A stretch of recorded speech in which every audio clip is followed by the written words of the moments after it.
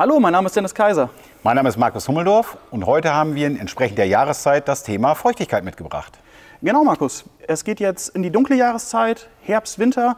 Das bedeutet, dass mehr Schmutz und Feuchtigkeit in die Gebäude eingetragen wird, der wiederum bei vielen Gebäudeverantwortlichen zu erheblichem Mehraufwand führt. Denn gerade Feuchtigkeit gilt es schnell zu beseitigen, da Feuchtigkeit in Kombination mit Salzen die Böden nachhaltig schädigt und zu Rutschunfällen führt.